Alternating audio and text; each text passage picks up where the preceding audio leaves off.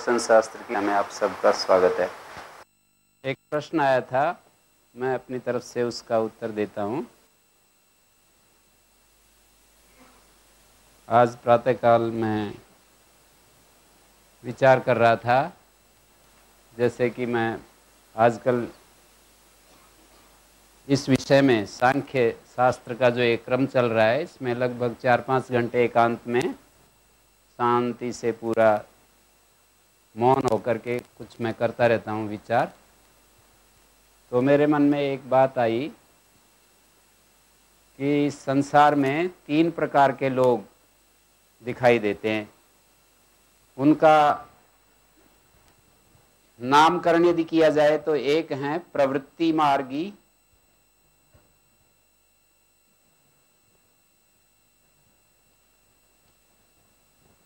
और दूसरा है निवृत्ति मार्गी।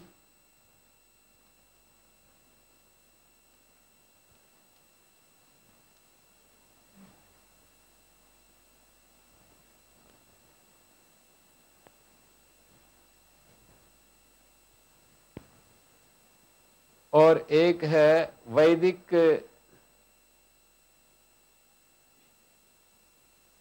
वैदिक मार्गी, हम यूँ कहें, वैदिक मार्गी।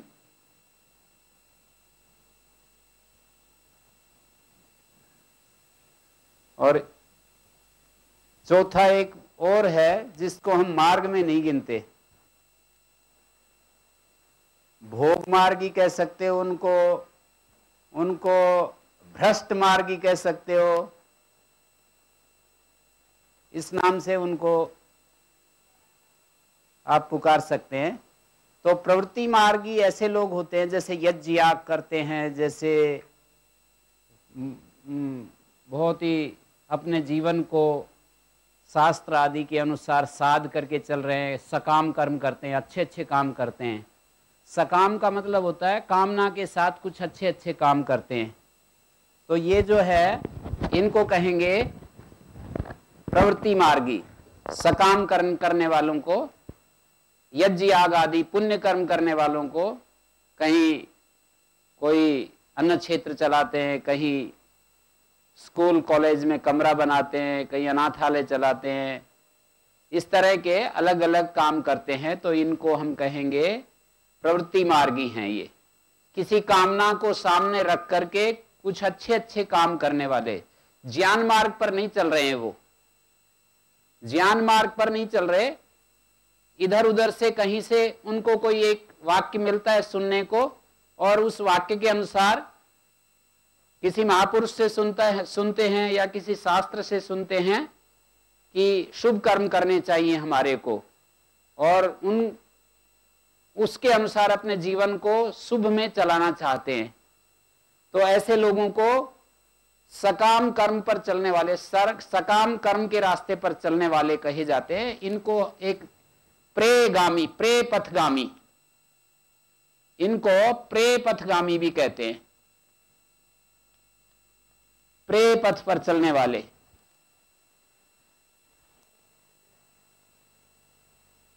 जैसे मुझे स्वर्ग प्राप्त करना है, मुझे अच्छा जन्म पाना है, इस तरह से अच्छे जन्म की इच्छा से प्रेरित होकर के कुछ अच्छे काम करते हैं।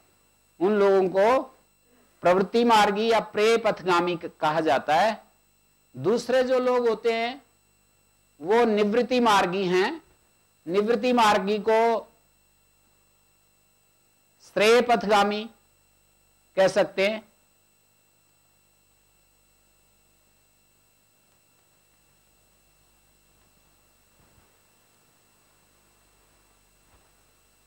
जिनकी ये इच्छा है कि हमें ज्ञान प्राप्त करना है, हमें जीवन मुक्ति की स्थिति को प्राप्त करना है ऐसे जिनके लक्ष्य में है तो इन दोनों में अंतर यह है, प्रवृत्ति मार्गी जो हैं, वो ज्ञान पर केंद्रित नहीं होते। हमें स्वर्ग प्राप्त करना है, अपने जीवन में ऐसा जन्म पाना है जिससे अधिक से अधिक हम सुखी रह सकें। उनके टारगेट में सुख होता है कि हम ज़्यादा से ज़्यादा अपने जीवन में सुखी जीना चाहते हैं, यज्ञ आदि करते हैं तो यज्ञ आदि के द्वारा हमें स्वर्ग मिलेगा, ऐसी उनके मन में इच्छा होती है। कहीं इसी तरह के धर्म कार्यों में खर्च करते हैं तरह तरह के जो धर्म कार्यों में अपनी, अपने कमाई हुई संपत्ति का दान करते हैं तो उसमें भी उनके मन में ये होता है कि हम ये अच्छे काम करेंगे तो हमें आगे अच्छा मिलेगा। मकर संक्रांति के दिन हमारे उधर हरियाणा में, राजस्थान में एक परंपरा होती है कि मकर संक्रांति के दिन माताएँ जो है, रास्ता झाड़ू लगाती हैं। गाँव में जो है, माताएँ झाड़ू लगाती हैं मकर संक्रांति के दिन। तो उनको ये बाल्यकाल से परंपरा में ये पढ़ाते हैं, सिखाते हैं, उनके माता पिता या परंपरा में ऐसे बताते हैं कि भाई झाड़ू लगाओगे, रास्ता बहारोगे तो आपके लिए भी कोई रास्ता बहारेगा।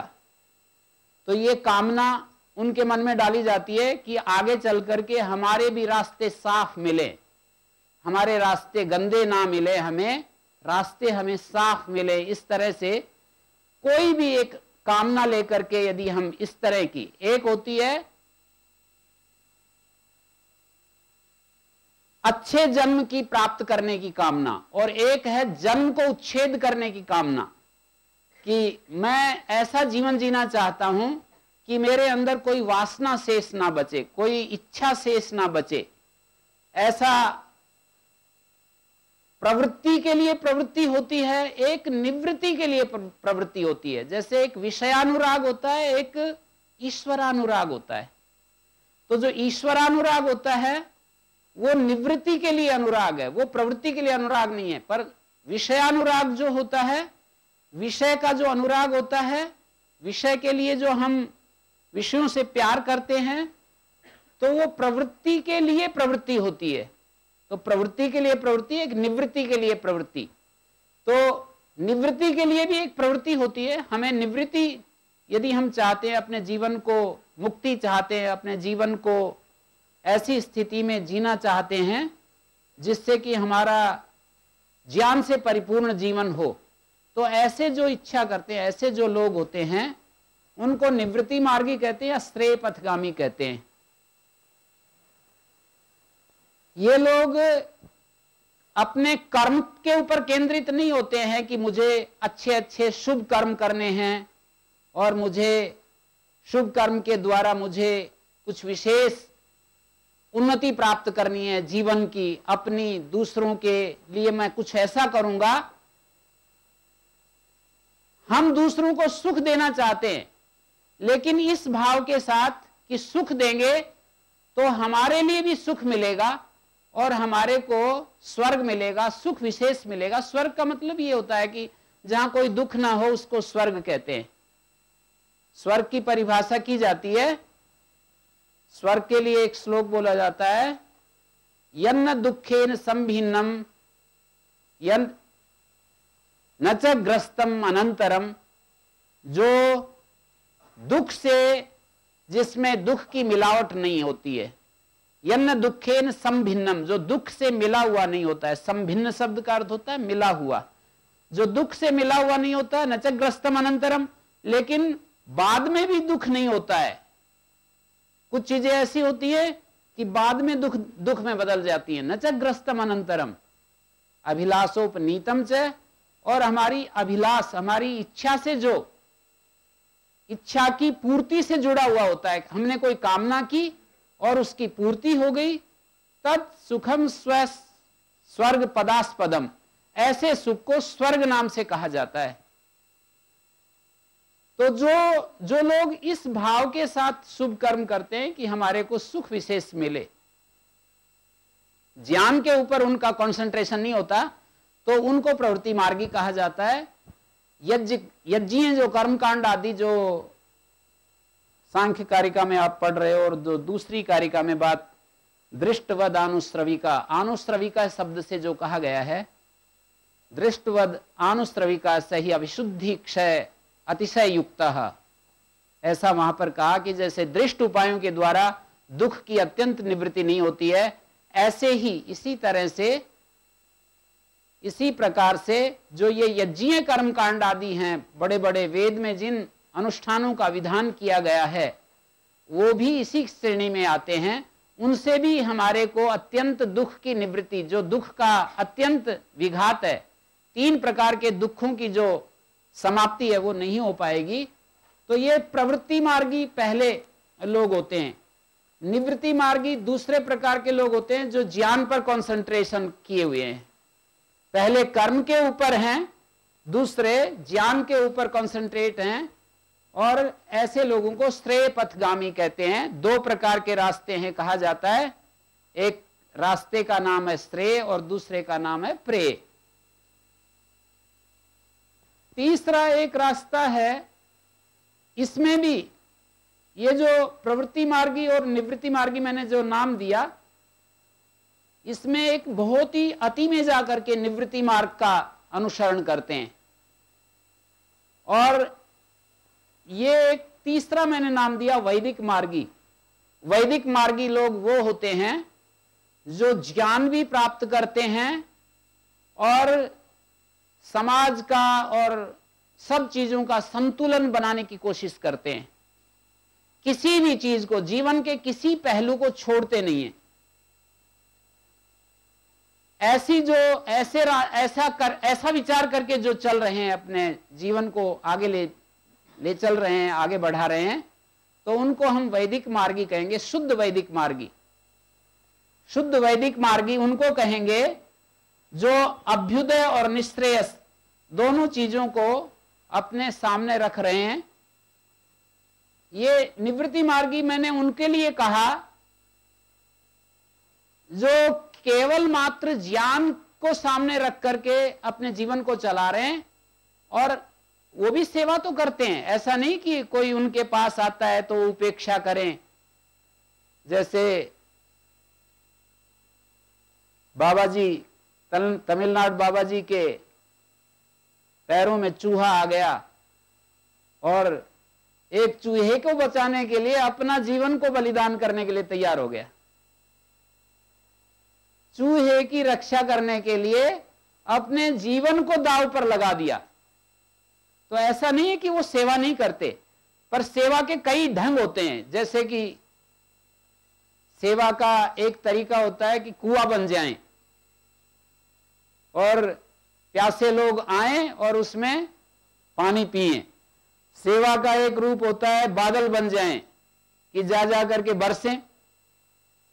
ये भी एक सेवा का रूप होता है, कि जा जा करके दूसरे के खेतों में बरसें।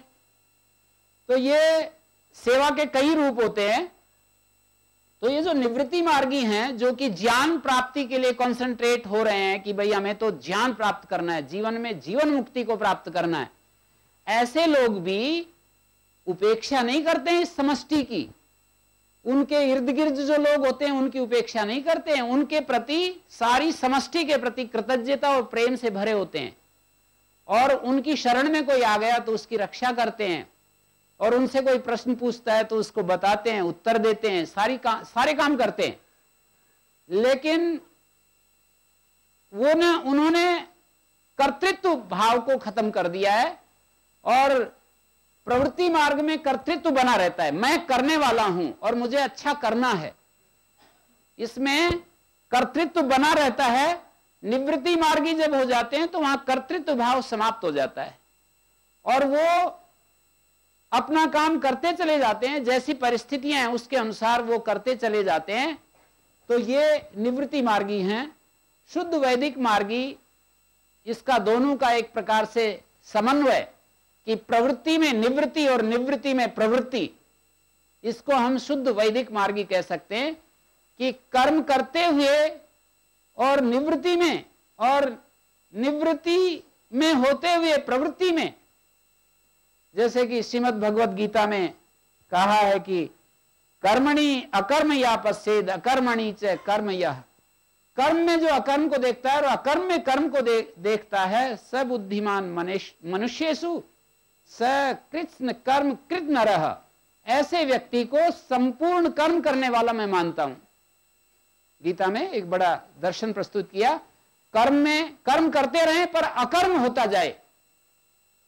कर्म की कोई रेखा हमारे ऊपर, और अकर्म की स्थिति रहे, अकर्म की स्थिति में जिए, पर निरंतर कर्म करते रहें तो प्रवृत्ति में निवृत्ति और निवृत्ति में प्रवृत्ति, ये एक एक और मैंने, मेरे मन में जो आया, वो ये एक और मार्ग है, इसको भी हम श्रेय पथ वाला ही कहेंगे।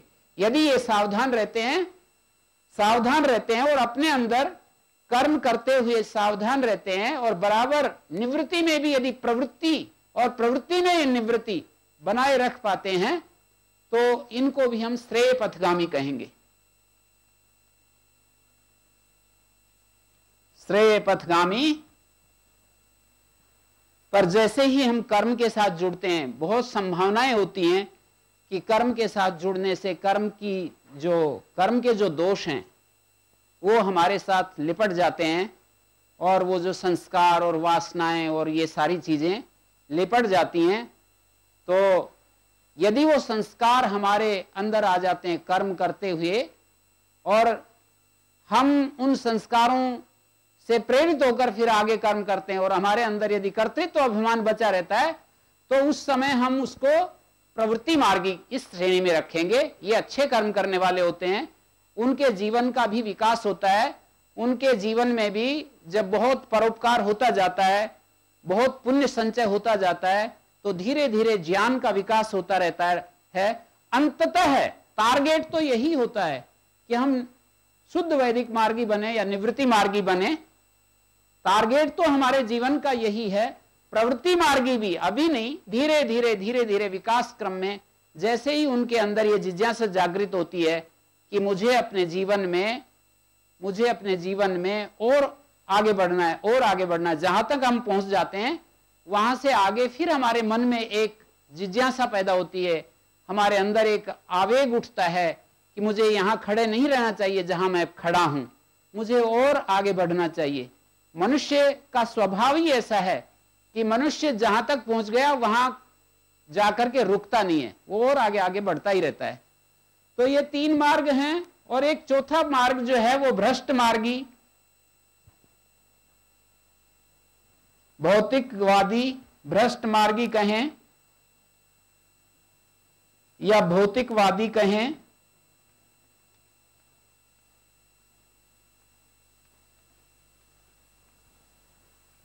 अच्छे और बुरे साधनों का कोई ध्यान नहीं रखते हैं और हमें ज़्यादा से ज़्यादा सुख सुविधाएँ चाह। रहे हैं साधन सुविधा सुविधा संग्रह इन लोगों का टारगेट होता है, इन लोगों का लक्ष्य होता है कि मुझे सुविधा संग्रह करना है, अधिक से अधिक अपने लिए, अपने बच्चों के लिए, अपने परिवार के लिए सुविधा संग्रह इनके ध्यान में होता है बस। और उसी से सुखी होना चाहते हैं, उसी में अपने जीवन की धन्यता देखते हैं। तो ये भौतिकवादी कहें भ्रष्ट मार्गी कहें, ये एक रास्ता है। मरते हैं, जीते हैं, मरते हैं, जीते हैं, यही कुछ होता है इसमें। इसके लिए उपनिषद की भाषा में कहा है, जायस्व मृयस्व जायस्व मृयस्व मरो जियो मरो जियो, ऐसे चलते रहते हैं। मक्कर मक्खी, मच्छर की तरह। मच्छर, मक्खी जो होता है, उसकी तरह से इनका जीवन का क्रम हो जाता है। तो ये, इसके साथ एक चीज़ मैं आपके सामने रख रहा हूँ कि इस संसार में, इस हमारे इस सामने जो ये जगत फैला हुआ है इसमें हमारी जो दृष्टि है, हम जो साधक लोग हैं, वो नाम और रूप को देखते हैं। नाम रूप को देखने का मतलब है, आप सांख्य शास्त्र पढ़ रहे हैं, नाम रूप को देखने का मतलब है तेईस तत्वों को देखना। तेईस तत्वों का जो मूल है, वो प्रकृति है, और प्रकृति के स्वभाव का यदि अध्ययन किया जाए कि प्रकृति का जो प्रकृति में प्रकृति का जो मूल स्वभाव है, वो क्या है? ये जो तीन गुण हैं प्रकृति के, ये क्या हमारे लिए उपलब्ध कराते हैं? प्रकृति के गुणों को सुख, दुख और मोह रूप कहा गया है। तो जब हम देखते हैं, चीज़ों को जब हम देखते हैं, आँखें खोलते हैं और चारों तरफ़ इस फैले हुए विशाल जगत को देखते हैं तो हमारे को हमारी पहुँच कहाँ तक है, ये हमें देखना होता है। यदि हमें ये नाम रूपात्मक जगत दिखाई देता है, ये प्रकृति दिखाई देता है, माने तेईस तत्व दिखाई देते हैं तो तेईस तत्व दिखाई देते हैं तो इसका मतलब ये है कि हम सुख, दुख और मोह के घेरे में हैं। हम कभी सुखी होंगे, कभी दुखी होंगे, कभी मोह में होंगे। यदि हम इससे परे, इस तेईस तत्वों से परे एक जो चेतन तत्व है वहाँ तक हमारी दृष्टि पहुँच गई, वहाँ तक हम देख पा सकते हैं या अपने आप को उस चेतन तत्व में स्थिर कर सकते हैं। यदि ऐसा हम कर सकते हैं तो फिर ऐसे लोगों के लिए दुख मुक्ति की बात कही गई है। हम जब देखते हैं इस जगत को तो हमें अपियरेंस दिखाई देती है। ये जो बाहरी एक्सटर्नल जो रूप है, वो दिखाई देता है लेकिन द थिंग इन इट जो चीज़ इसके अंदर है, वो हमें दिखाई नहीं देती है। जिस अधिष्ठान पर यह टिका हुआ है, जिस चेतन तत्व के कारण से यह अभिव्यक्ति पा रहा है, हमें वो नहीं दिखाई देता है। हमें तो ये नाम रूप दिखाई देता है। और जब नाम रूप के साथ जुड़ेंगे तो उसमें राग और द्वेष। हमारी जितनी भी चेष्टा होंगी, वो राग द्वेषात्मक होंगी। हमें सुख देने वाला होगा, उसके साथ राग होगा, जो हमें दुख देने वाला होगा, उसके साथ हमारा द्वेष होगा, अप्रीति होगी, यही चलता रहेगा। राग और द्वेष, राग और द्वेष, यही चलेगा। जब हम इस दुनिया को देखेंगे और इस दुनिया को देखते समय हमारे को इसके पीछे, इसके अधिष्ठान में, इसके आधार में जो चेतन तत्व है, वहाँ तक हमारी दृष्टि नहीं पहुँचती है। तो इस, ये ये तो सुख दुख सुख दुख और मोहात्मक है ये जगत। ये जो प्रकृति के गुण हैं, ये त्रिगुण जो है, सुख स्वरूप, दुख स्वरूप और मोह स्वरूप है। देखने वाले की दृष्टि में देखने वाले की जो दृष्टि है, वो अंदर से नहीं आ रही। मानी चेतन तत्व के साथ जुड़ करके ये दृष्टि नहीं बाहर प्रकट हो रही है तो वो सुखी, सुख दुखी या मूड बन करके देखेगा चीज़ों को और बाहर की चीज़ें भी सुख कर, दुख कर, मोह कर उसको प्रतीत होंगी। यदि वो गहराई में जाकर के पहुँच जाता है, चेतन तत्व के साथ संपर्क स्थापित कर लेता है तो निश्चित रूप से वो एक अटकल जिसको कहते हैं, एक ऐसी एक ऐसी युक्ति खोज लेता है कि वो सुख, दुख, मोह से पार हो जाता है। तो ये सांख्य शास्त्र इस तरह से हमको समझा रहा है कि हम जो है, कैसे हम अपने जीवन को पूर्ण दुख मुक्ति की स्थिति में ले जा सकते हैं। जैसे कोई भी एक व्यक्तित्व जब हम देखेंगे तो उसके दो हिस्से हमारे सामने आएँगे। उसका एक पार्ट प्रकृति है, जिसको हम मन, बुद्धि, चित्त, अहंकार, इंद्रियाँ तन्मात्र ये शरीर बॉडी और इस बॉडी के साथ जो अंदर मन बुद्धि है, जिस बुद्धि से हम युक्तियाँ लगाते हैं, काम करते हैं, ये सब करते हैं। तो एक हिस्सा तो तेईस तत्वों का है, दूसरा हिस्सा आत्मा है, हमारा पूरा ये व्यक्तित्व। सांख्य शास्त्र हमको क्या सिखाता है? यही सिखाता है। सांख्य शास्त्र यही कह रहा है कि एक तरफ़ तेईस तत्व हैं, दूसरे तरफ़ चेतन तत्व है। तो कभी कभी हम पूरे के पूरे तेईस तत्व में केंद्रित हो जाते हैं। कभी कभी हम पूरे के पूरे उस एक तत्व में चले जाते हैं। कोई देखने वाला व्यक्ति जो है, वो तेईस को छोड़ करके एक की तरफ़ झुक जाता है। कोई कोई देखने वाला उस एक को छोड़ करके तेईस की तरफ़ झुक जाता है। तो इसलिए ये दिक्कत होती है, व्यवहार में हम सब ऐसा करते हैं, जब हम जिस जिस अंश की हमारे अंदर प्रधानता होती है, जैसे हमारी जो साधना है या हमारा जो दर्शन है, हमारा जो विजन है, वो तेईस में ही राउंड घूम रहा है। तेईस में ही हमारा विजन चक्कर काट रहा है। तो हमारे को देखने वाले को तेईस तत्व दिखाई देते हैं। हमारी स्थिति तेईस तक है। माने तेईस भी क्या कहें, बुद्धि तक भी कौन पहुँच पाता है? अहंकार मन इंद्रियाँ यहीं तक। बुद्धि भी जो है वो भी साइलेंट रहती है। बाईस ही कहना चाहिए। बाईस तक ही हमारा जो है देखने वाले का भी और जिसको हम देखते हैं उन सब का भी हमारे को यही चीज़ें दिखाई देती हैं। इधर भी हम बाईस हैं और दे, जिसको देख रहे हैं वो भी बाईस हैं। तो उस तरह से हम उसको प्रमुखता दे करके हम ऐसा व्यवहार करते हैं कि ये दुष्ट है ये राक्षस है, ये अधम है, ये पतित है, ये जो भी कुछ हम शब्द बोलते हैं, उस बाईस के आधार पर हम ये निर्धारण करते हैं। उधर वो जो कुछ लोग ऐसे बोल देते हैं, जैसे अपने भक्ति भाव में या अपने प्रवाह में, पूर्ण दृष्टि तो नहीं है ये, पूर्ण दृष्टि तो नहीं है, पर अपने प्रवाह में, जैसे वो लोग वो लोग जैसे बाईस ही दिख रहा है उनको, और वो जो चेतन तत्व है, उसको बिल्कुल एक तरफ़ कर दिया।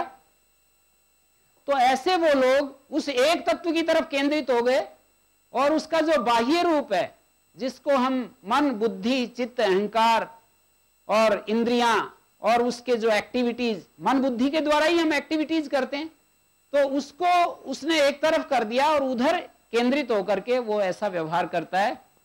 तो एक अर्थ में हम कहें वैदिक दृष्टि से यदि देखें, वैदिक दृष्टि से ये देखें तो इन दोनों का संतुलन करना पड़ेगा।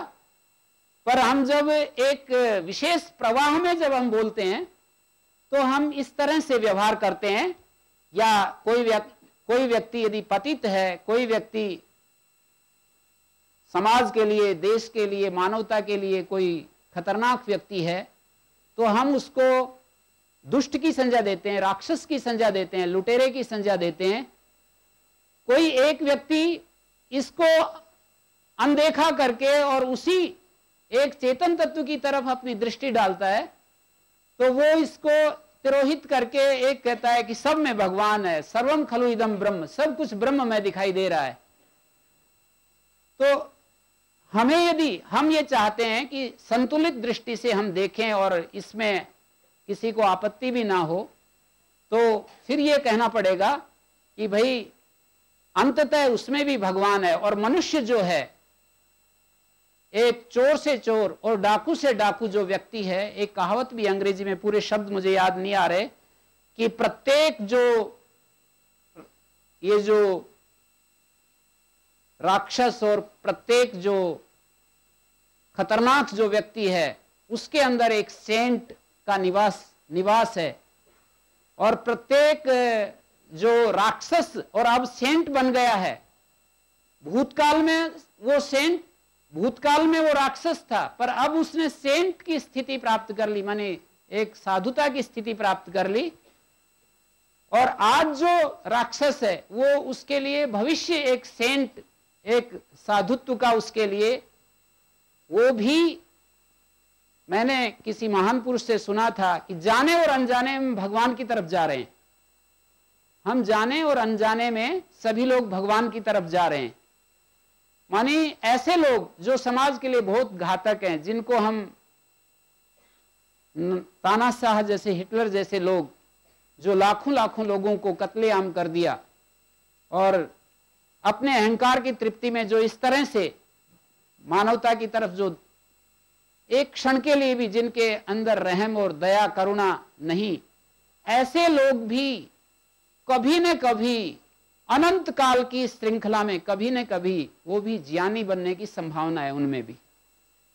तो मनुष्य की स्थिति में आकर, हम मनुष्य की स्थिति में पहुँचने के बाद, और यदि हम जो है मनुष्य की स्थिति में जाने के बाद, हम यदि ये सोचते हैं कि ये लोग यदि, ये लोग जो हैं, ये ज्ञानी नहीं बन सकते, ये हमारे ज्ञान की, हमारी जो विजन की कमी कही जाएगी।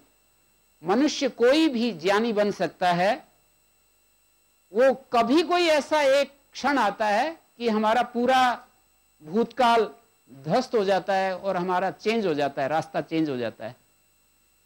सबको अपना अपना जीवन का अनुभव होगा। तो इस तरह से हम मनुष्य जो हैं, वो जब इस दुनिया को देखें तो सांख्य में ये समझाता है कि चेतन को भी देखें, मन, बुद्धि, चित्त, अहंकार और इनके द्वारा की जाने वाली क्रियाओं को भी देखें और इस तरह से जहाँ इसके मन, बुद्धि, चित्त, अहंकार में सुधार की जहाँ भी गुंजाइश है, अपने अंदर या दूसरे के अंदर, उसके लिए हम प्रयत्न करते रहें। और इस प्रयत्न में निश्चित रूप से हमारा या दूसरे का ज़रूर कल्याण होगा। तो ये कुछ बात मैंने आपके सामने रखी। इस पर विचार करेंगे आप लोग, और ज़्यादा विचार करेंगे। आगे प्रश्न पूछा जा रहा है। गुरुजी, प्रणाम। एक साधक का प्रश्न है कि साधना की राह तो बहुत कठिन है, क्योंकि जैसे थोड़ा जागरूक हो रहा हूँ तो ज़्यादा दुख हो रहा है। पहले तो इतनी दिक्कत जीवन में कभी नहीं हुई थी। इसका कारण क्या है?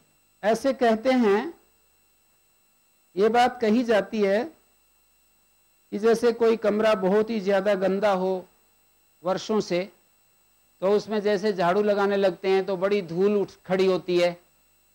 तो इसी तरह से हमारे जीवन में भी जब बहुत ही झाड़ झंखाड़ खड़े हो जाते हैं और उसकी सफ़ाई करने लगते हैं तो ऐसा ही होता है, हमारे को बहुत कष्ट होता है, परेशानी होती है।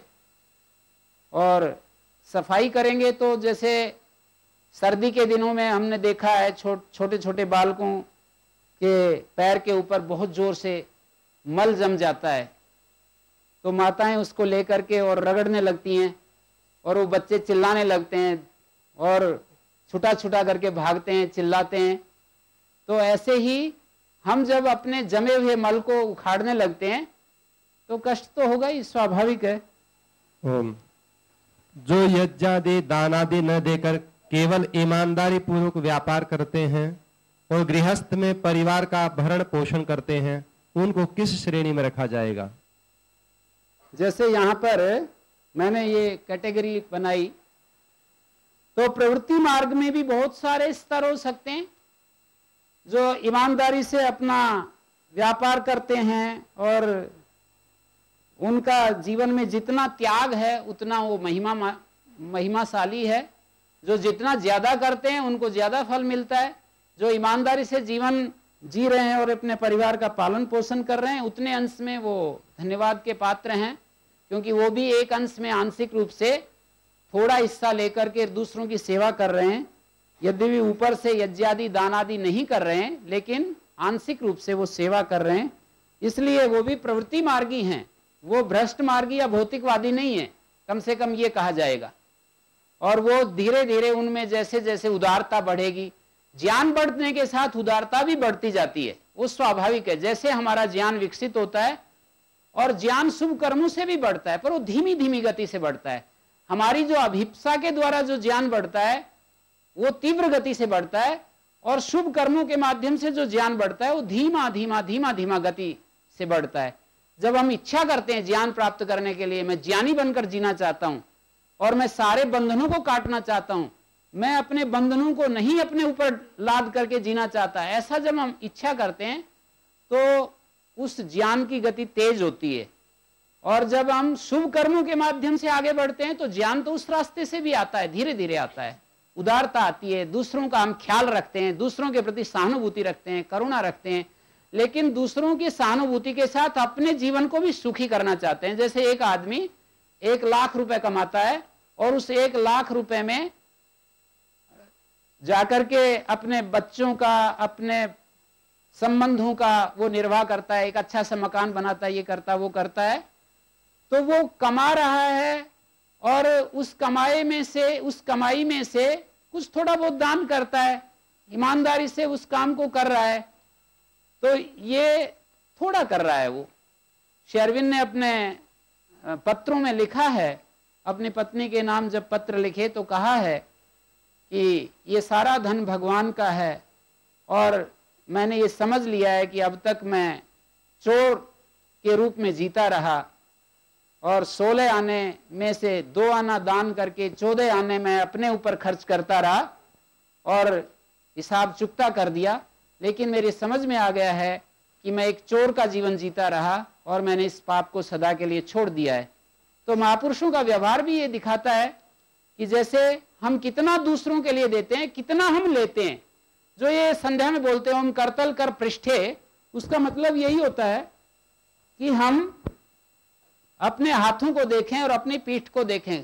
कर पृष्ठ और करतल, ये जो हमारे हाथ की कि जब हम दूसरों को देते हैं तो हमारे हाथ ऐसे रहते हैं, और जब जब दूसरों से लेते हैं तो हमारे हाथ ऐसे रहते हैं, सामने, और जब हम देते हैं तो ऐसे हो जाते हैं तो हमें अपना आदान प्रदान कितना हम दूसरों के लिए देते हैं, और कितना हम लेते हैं, ये रोज़ाना दो बार चेक करने के लिए कहा गया है।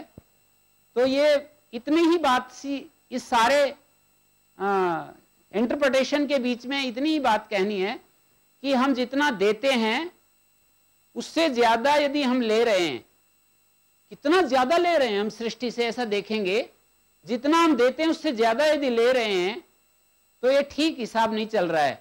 जितना हम लेते हैं उससे ज़्यादा यदि दे रहे हैं तो हमारे जीवन की दिशा सही है। जितना हम लेते हैं, उससे ज़्यादा हमें देना ही चाहिए। और बहुत कुछ हमने लिया है, लेते जा रहे हैं तो हमें देने के भाव में आना ही चाहिए। और इसके बिना इसके बिना हमारा जीवन जो है वो नीचे जाएगा। और ये उदारता हमारे जीवन में आई तो निरंतर हमारे शुभ कर्म इकट्ठे होते जाएँगे हमारे लिए एक उपयुक्त वातावरण बनेगा और हम ज्ञान की दिशा में भी आगे बढ़ते जाएँगे। हम क्या हैं क्यों हैं दुनिया क्या है क्यों है क्या है हमारा लक्ष्य? यहाँ पर पूछा है हम क्या हैं? हम शरीर सांख्य में यही तो पढ़ रहे हो हम क्या हैं? हम हैं आत्मा हम हैं मन, बुद्धि, चित्त, अहंकार, शरीर, तन्मात्र, स्थूलभूत, स्थूल शरीर, सूक्ष्म शरीर, इन सब का समुदाय। हम क्या हैं, ये पूछा?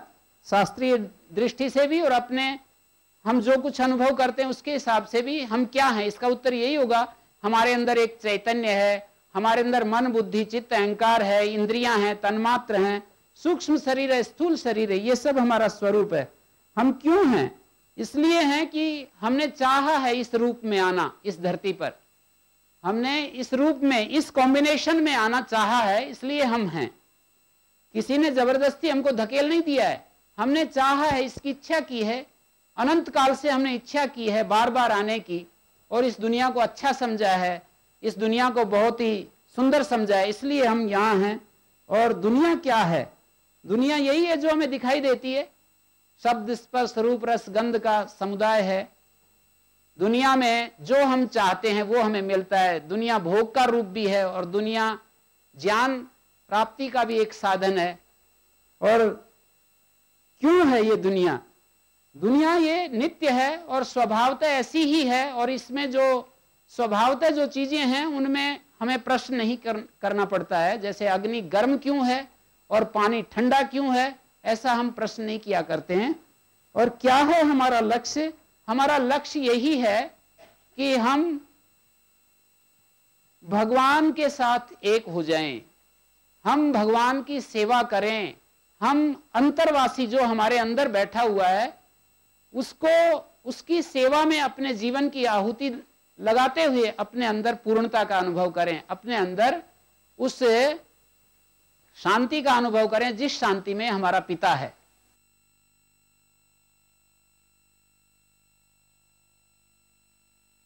जिस शांति में हमारा पिता हमारे अंदर वास करता है, उसी शांति में हमारा जो बाह्य व्यक्तित्व है, हमारा मन बुद्धि, चित्त, अहंकार है, हमारी इंद्रियाँ हैं, ये हमारा बाह्य व्यक्तित्व भी उसी शांति में जिए।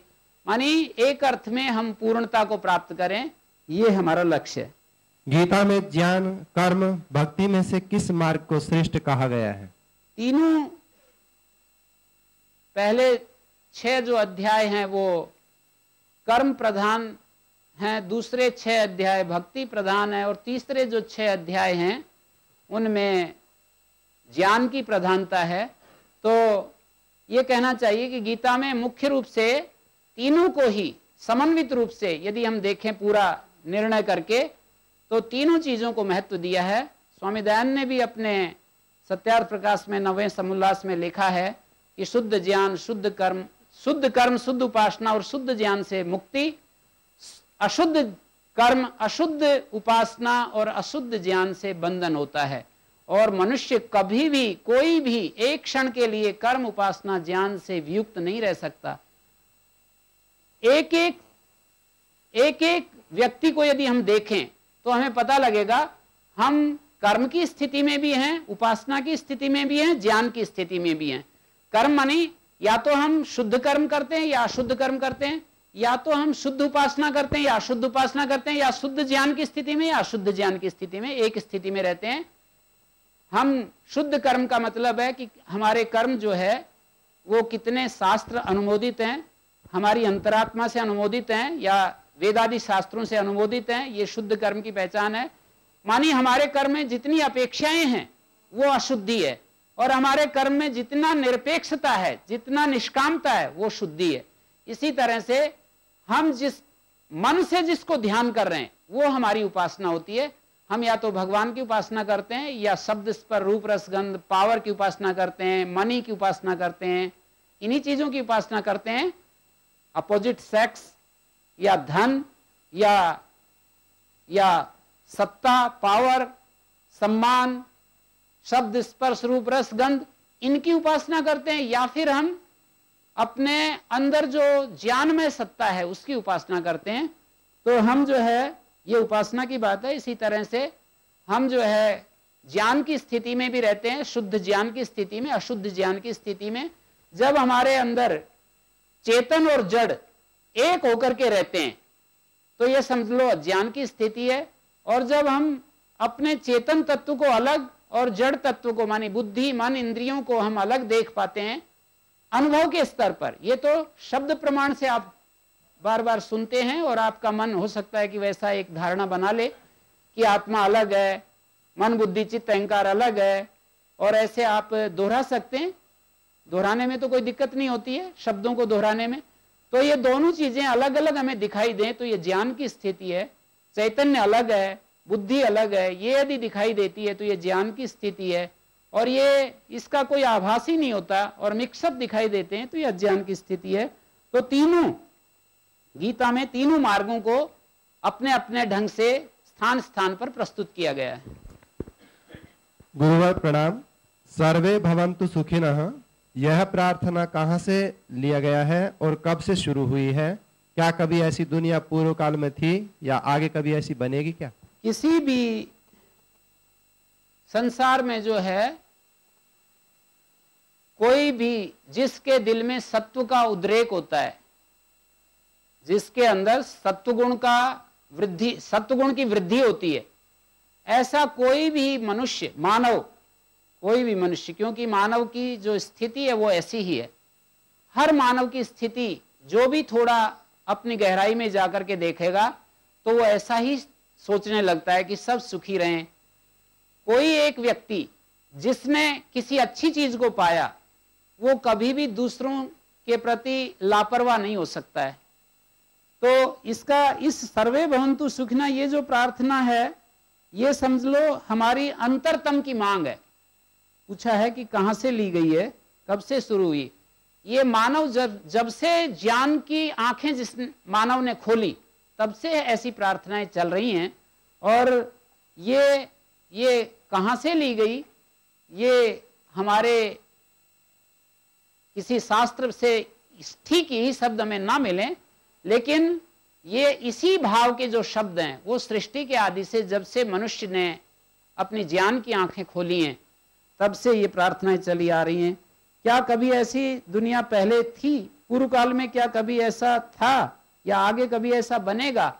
ये जो प्रार्थनाएँ होती हैं, वो हमारे चित्त को शुद्ध करने के लिए होती हैं।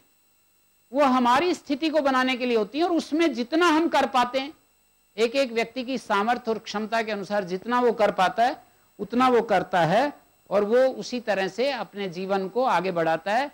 प्रार्थना से दूसरे का भला हो या ना हो, प्रार्थना करने वाले का ज़रूर भला हो जाता है।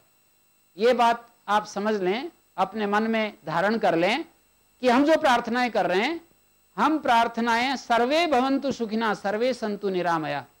हमारी इस प्रार्थना से कोई सुखी हो या ना हो, लेकिन हमारा चित्त शांत होता है, हमारे चित्त में आनंद आता है, हमारे चित्त में निर्मलता आती है, शुद्धि आती है। तो ये प्रार्थनाएँ कितनी एक व्यक्ति यदि जागृत हो जाता है तो उसको देख करके दूसरा भी जागृत होता है, ये कि, ये अग्निना अग्नि समित देते वाली प्रक्रिया शुरू हो जाती है। एक दिए से दूसरा दिए जलता है, वो प्रक्रिया शुरू हो जाती है। गुरु जी, मन, बुद्धि तथा अहंकार को अलग अलग कर जब आत्मा की सहायता से कोई निर्णय ले, वह ठीक होगा ना? लेकिन कभी कभी ऐसा महसूस होता है कि आत्मा ना ना कहती है, ना हाँ कहती है। बस देखती रहती है, ऐसी परिस्थिति में क्या करें? मन बुद्धि अहंकार को अलग करके ये सामान्य कार्य नहीं है, मन बुद्धि अहंकार को अलग करना। ये तो हम बोल रहे हैं कि मन बुद्धि अलग करके और आत्मा की सहायता से कोई निर्णय लें तो वो ठीक होगा। ये तो ठीक होगा ही निश्चित रूप से, इसमें तो कोई शक नहीं है। लेकिन कभी कभी ऐसा महसूस होता है कि आत्मा ना कहती है और ना हा कहती है। हम रिसेप्टिव साइलेंस में अपने अंतरतम से पूछ सकते हैं। उसके लिए थोड़े धैर्य की ज़रूरत है और उसके लिए हमारे को शांत, ग्रहणशील होने की ज़रूरत है और हमारे अंदर उत्तर मिलता है। ये सबकी अस्तित्व जो है, सबका एक ही है। किसी का अलग है, मेरा अलग है, उसका अलग है, ऐसा नहीं।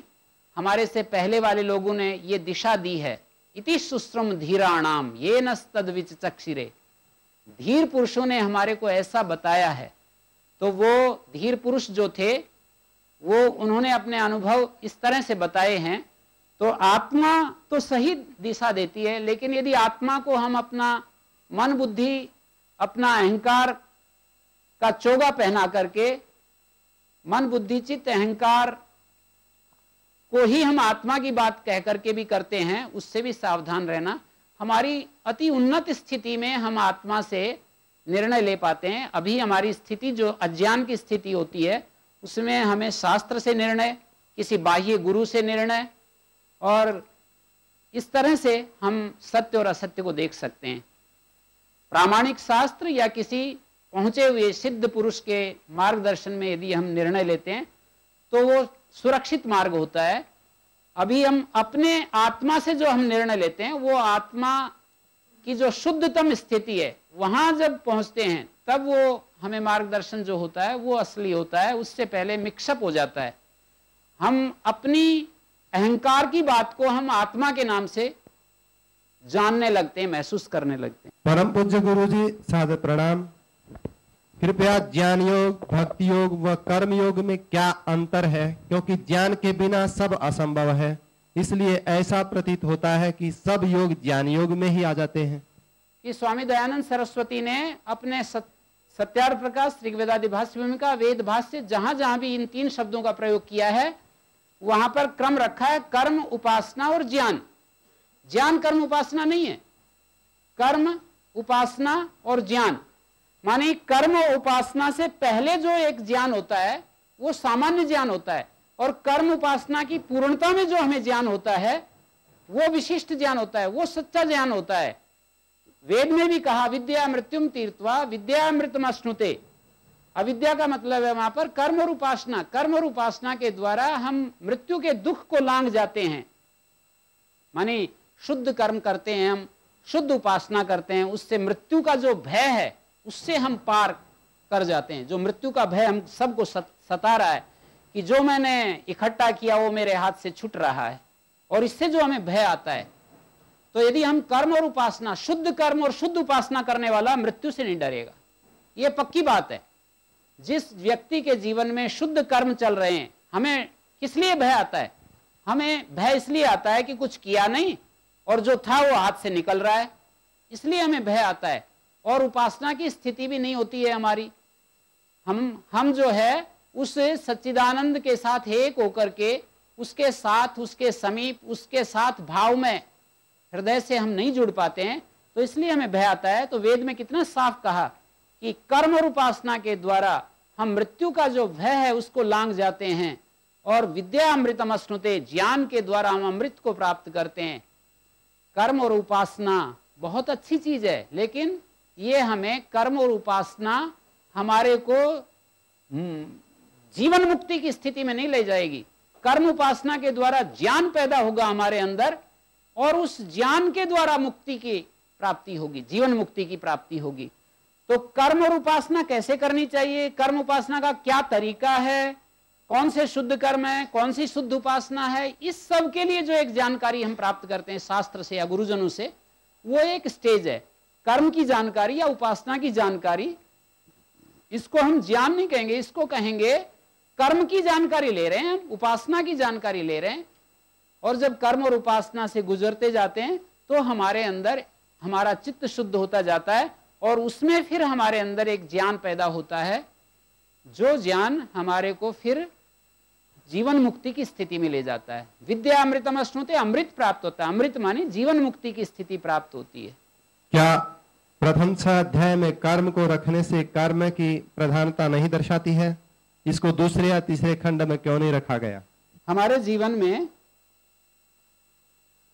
कर्म, उपासना और ज्ञान, अभी मैं बोला था, वही बात आ गई। बाई चांस मैंने तो यही तो बात कही थी कि स्वामी दयान ने कर्म, उपासना और ज्ञान कर्म रखा है। और गीता में भी पहले कर्म पक्ष है, फिर उपासना पक्ष है, फिर ज्ञान पक्ष है। गीता के तीन तीन छः छः अध्यायों का एक ग्रुप यदि बनाया जाए तो पहले छः अध्याय में कर्म पर ज़ोर है, दूसरे छः अध्याय में भक्ति पर ज़ोर है, बारहवें अध्याय की समाप्ति पर भक्ति समाप्त होती है, और अगले छह अध्याय में ज्ञान के ऊपर ज़ोर है, त्रिगुण और ये सारे दैवी संपत्ति, आसुरी संपत्ति, श्रद्धा, ये सब ज्ञान के ज्ञान के पक्ष को लेकर के वहाँ पर चर्चा की गई है। तो कर्म की प्रधानता तो है, ठीक है, हमारे जीवन की शुरुआत कर्म से होती है। हम कर्म करें और इस भाव से करें कि हम कर्मों को करते हुए अकर्म में चले जाएँ। कर्म की रेखा हमारे ऊपर ना पड़े और कर्म जो है हमारे चित्त को शुद्ध कर डाले। भगवान शंकराचार्य ने कहा है कि चित्त से शुद्ध कर्म। कर्म जो है हमारी चित्त शुद्धि के लिए होता है। तो इस तरह से कर्म की महिमा को कोई नहीं नकारता है। कर्म के कारण ही आज हम ऐसे हैं, जो हैं। हमारी जो स्थिति है आज, वो कर्म के कारण है। और जैसे एक दिन कोई पूछ रहा था, मैं ऐसे व्यवहार में देखता हूँ, जैसे हमारे को कोई व्यक्ति लांछित करता है और झूठा कोई आरोप लगाता है, लेकिन हम समाज में अब तक पूरा सच्चे रहे हैं। तो उसमें दूसरे लोग विश्वास नहीं करते, कोई विश्वास नहीं करता है। और कितने दिन तक यदि वो आदमी कुछ झूठ मूठ कुछ गलती करने भी लग जाए, फिर भी बहुत दिन तक उस पर विश्वास अविश्वास नहीं होता है। और एक आदमी ने कुछ गलतियाँ की हैं और उसके बाद वो ठीक हो गया है। कितने वर्षों तक उसको अपने जीवन की साधना सही सही करनी पड़ेगी, तब जाकर के विश्वास होगा। क्यों? ये सारा कर्म का चक्र है। कि एक आदमी ने अपनी कमाई ऐसी की हुई है कि उसको, यदि वो गलती भी कर देगा, उसको कोई नहीं देखेगा अगर ये गलती कर रहा है। बहुत दिन में बार बार बार बार जब गलतियाँ आएँगी, तब उस पर भरोसा करेंगे कि ये भी भाई बिगड़ गया। और एक आदमी जो गलत था और वो अच्छे रास्ते पर आ गया है तो वो जो है अच्छा बनने के बाद भी कितने दिन तक उस पर विश्वास नहीं जमेगा, क्योंकि वो कर्म ऐसा किया है, उस उसका जो खाता है, धीरे धीरे धीरे धीरे जो है बैंक बैलेंस बढ़ता है। तो इस तरह से कर्म के कारण ही हम व्यवहार में भी देख सकते हैं। कर्म के कारण ही हम हम आज जो हैं, वो सारा कर्म के कारण है। तो कर्म की तो महिमा है ही। कर्म को कोई नकारता नहीं है, कोई भी नहीं इसके लिए मना करता है। कर्मण्यवाधिकारस्ते माँ फलेशु कदाचन, का सम्यक अर्थ क्या है? वर्तमान में बहुत तायत लोग तो फल इच्छा से कर्म करते हैं। यदि हम, हम हमें हमारे कर्म के फल का अनुमान नहीं नहीं होगा तो हम कर्म करेंगे ही क्यों? ये अर्थ नहीं है इस कर्मण्यवाधिकारस्ते का ये अर्थ नहीं है कि हमें कर्म फल का अनुमान नहीं होना चाहिए। हम जो देखते हैं कि मैं जो करने जा रहा हूँ उसका मेरे ऊपर समाज पे ऊपर किसका क्या असर पड़ेगा ये तो देखा जाता है। लेकिन उसके फल की इच्छा हम नहीं करते हैं कि जैसे मैं आपको कुछ समझा रहा हूँ तो कितने लोग आप समझोगे, कितने नहीं समझोगे? ये तो आप लोगों की भी तो इसमें सहभागिता अपेक्षित है। मैं अपनी तरफ़ से ईमानदारी से पूरा का पूरी ताकत लगा दूँ, इतना मैं कर सकता हूँ, यही कर्मण्यवाधिकारस्ते माँ फलेशु कदाचने की बात है। मैं अपनी तरफ़ से कसर ना छोड़ूं और उसके बाद कितने लोग मेरी बात को फॉलो करते हैं, कितने नहीं, जितनी मेरी शक्ति है, जितना मेरी बुद्धि काम करती है, उसको मैं पूरा प्रयोग करके और फिर भगवान पर छोड़ दूँ। और उससे कोई अपेक्षा ना रखूँ, कोई आशीर्वाद की कामना ना करूँ, कोई लोगों से अपेक्षा ना करूँ कि मैंने आपको इतना अच्छी अच्छी बातें बताई और तुम मेरे लिए ऐसा ऐसा कहते हो। ऐसी चीज़ें जो फल की जुड़ जाती हैं, ज़्यादातर जुड़ जाती हैं हम किसी के लिए कुछ अच्छा करते हैं, हम अपेक्षाएँ करने लगते हैं, इस तरह की बातें जुड़ जाती हैं, उनको एक तरफ़ करना चाहिए, यही है माफलेशु कदाचन तो हमें निश्चित रूप से निष्काम कर्म करेंगे तो उसी से चित्त शुद्ध होगा। देखो, सकाम कर्म करते हैं, सकाम कर्म में जितना हम चाहते हैं, उतना मिल जाता है। सकाम कर्म किया, जितना हम करेंगे, उतना मिल जाएगा। निष्काम कर्म में भगवान हमारे चित्त को शुद्ध करने के माध्यम से स्वयं मिल जाता है। वो विधाता हमें प्राप्त हो जाता है। तो बहुत बड़ा निष्काम कर्म कठिन है, लेकिन उसका फल भी बहुत बड़ा है। लेकिन भगवान मिलेगा ऐसा सोच करके हम कर रहे हैं तो भी एक सकाम हो जाता है। मैं अपना कर्म कर रहा हूँ, क्योंकि उसके बिना मैं रह नहीं सकता हूँ। और मैं क्या करूँगा? मेरे को सारी समष्टि की तरफ़ से, सारे अस्तित्व ने मेरे को ये चीज़ें दी हैं। तो मैं कैसे अकेला कोई अच्छी चीज़ किसी को मिल जाए तो वो अकेला भोग करना नहीं चाहता। एका स्वादु न भुंजित है। स्वादु भोजन अकेला नहीं करता है। जब कोई अच्छी चीज़ मिलती है तो वो बांटना चाहता है। जैसे एक माँ को मैं एक अच्छा उदाहरण देता हूँ। जैसे किसी माँ को कोई अच्छा सा फल मिल जाए तो ऐसा नहीं है कि वो उस फल को उठा करके और वो स्वयं खा जाए और बच्चों को देखता, देखते देखते रहे बच्चे। ऐसा कभी नहीं होता है। भर्तृहरि की जो एक घटना जो है, वो आपने सुनी ही कि भर्तृहरि को किसी ने एक अमृत फल दे दिया। तो उस अमृत फल को जैसे आप इसको खाएँगे तो अमर हो जाएँगे। लेकिन भर्तृहरि अपनी पत्नी से ज़्यादा प्यार करता था। उन्होंने कहा कि भाई, मैं तो अमर हूँगा क्या जिससे मैं प्रेम करता हूँ उसको अमर होना चाहिए। तो उसने जाकर के उनको दे दिया। लेकिन वो एक बड़ी श्रृंखला है कि वो उन्होंने अगले को दे दिया, उसने अगले को दे दिया, उसने अगले को दे दिया। और वो जो है, इस इस कथानक के बीच में मैं यही कहना चाहता हूँ कि हम जिससे प्रेम करते हैं उस पर नौछावर होना चाहते हैं। जो देश से प्रेम करते हैं, वो देश के लिए नौछावर हो गए हैं, होते रहेंगे, हो रहे हैं। जो देश से प्यार करते हैं, वो देश पर नौछावर हो जाते हैं। जो धन से प्यार करते हैं, धन पर नौछावर हो जाते हैं। सारे जन्म जन्म बेकार कर लेते हैं, लेकिन धन पर आना चाहिए। जो धन पर न्यौछावर हो जाते हैं जो रूप पर न्यौछावर हो जाते हैं, कुछ नहीं देखते, अपना सारा कर्म श्रृंखला को, अपने जन्म जन्म को बिगाड़ लेते हैं, पर रूप पर न्यौछावर हो जाते हैं। जो ज्ञान पर न्यौछावर हो जाते हैं, उनको ज्ञान ही चाहिए।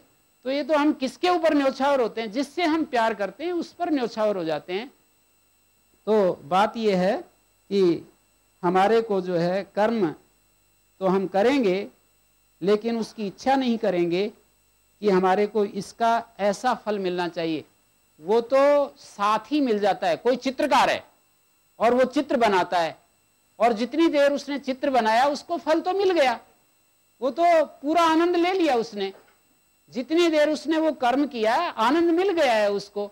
उसका पैसा, पब्लिसिटी, उसके बारे में महिमा, ये सारी चीज़ें तो वो यूजलेस हैं, ऐसे ज्ञानी के लिए। ऐसे ज्ञानी के लिए ये सारी चीज़ें यूजलेस हैं। तो इस तरह से कर्म करते हुए ही कर्म का फल मिल जाए। ये कहा जाता है निष्काम कर्म। जो मनुष्य अपने राष्ट्र के प्रति कर्तव्य निष्ठ नहीं है वो मेरा प्रिय नहीं हो सकता। इस कथनानुसार राष्ट्र के प्रति जिम्मेदार न होकर केवल ईश्वर को जपते रहना क्या निरर्थक कर्म नहीं है? श्री कृष्ण जी का जो उदाहरण दिया है मनुष्य अपने राष्ट्र के प्रति कर्तव्य निष्ठ वो मेरे प्रिय नहीं हो सकता है। ये तो सच्ची बात है। वेद से लेकर सभी शास्त्र ऐसा कह रहे हैं कि हमें जो है, जिस मातृभूमि ने हमें ये शरीर दिया, जिस मातृभूमि के कारण से हमारे को हम सांस ले रहे हैं, जिस मातृभूमि के कारण से हम बड़े हुए, पले और हम समझ पाए हैं ये सारी चीज़ें, राष्ट्र से हमने ये सारी सुविधाएँ ली हैं और उसको नकार करके और हम एकांत में जा कर के और, ये तो स्वार्थ ही एक प्रकार का, निश्चित रूप से। ये एक प्रकार का स्वार्थ ही है। तो स्वार्थ की कोई महिमा नहीं गाएगा, स्वार्थ की कोई प्रशंसा नहीं करेगा। ये ईश्वर के जपने वाले हैं ही नहीं, यदि वो उपेक्षा करते हैं किसी की। ईश्वर के जपने वाले, वो बाबा जी का उदाहरण एक ही बहुत है, कि वो तो चूहे के लिए भी अपना समर्पण करने के लिए तैयार हो रहे हैं। अपने आप को एक चूहे के लिए जो अर्पित करने के लिए तैयार है, ऐसे लोगों को, ऐसे लोगों का उदाहरण हमें बताता है, मार्ग दिखाता है कि जो इस सच्ची ईश्वर भक्ति करता है, सच्चे अर्थ में जो ईश्वर की भक्ति करता है, वो राष्ट्र तो बहुत ऊँची चीज़ है। एक चूहे की भी उपेक्षा नहीं कर रहा है तो हम इन दृष्टांतों से समझ सकते हैं। महापुरुषों के जो उदाहरण हैं, वो हमें दिशा देते हैं कि हम, हमें कैसे जीवन जीना चाहिए। ये एक आपके अंतेवासी पूछ रहे हैं, गुरुजी। हम ब्रह्मचारियों को पठन काल में गुरुकुल के अंदर चोटी पर बंधन आवश्यक है या नहीं? चोटी के बंधे होने का प्रयोजन क्या है? ये तो सामान्य बात है। इसके लिए चोटी इसलिए बांधते हैं कि बाल इधर उधर ना बिखरे और सामान्य सामान्य रूप से हम जो है बाल उड़े नहीं, बिखरे नहीं। एक कोई भी चीज़ व्यवस्था, व्यवस्थित जो है, वो अच्छी मानी जाती है। तो व्यवस्था के लिए चोटी में बंधन डालते हैं। लंबी लंबी चोटी होती थी मोटी मोटी चोटी होती थी तो व्यवस्थित रहे। इसके लिए इसके लिए ऐसा करते हैं। आपने बताया कि भगवान हमारे अंदर हैं तो फिर हम उन्हें मंदिर में क्यों खोजते हैं? जबकि वो तो मूर्ति पत्थर की बनी बनी हुई है।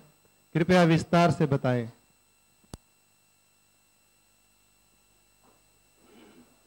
भगवान हमारे अंदर तो हैं, पर जिसको अंदर दिखेगा, वही तो अंदर खोजेगा। जिसने बाहर से एक वाक्य सुन लिया कि भगवान मंदिर में हैं, और मेरी कामना पूर्ति हो गई वहाँ पर जाने से, इतनी मोटी मोटी बातें किसी ने सुन ली। अब वो मंदिर में जाता है, और मंदिर में जा कर के कुछ कामनाएँ लेकर के जाता है, मन्नत माँगता है, और वो उस तरह से अपने जीवन को चलाता है। तो ये तो अज्ञान के कारण से हम पता नहीं आ, क्या क्या पूजा करने लगते हैं क्या क्या पद्धति अपनाते हैं अज्ञान के कारण से सब होता है।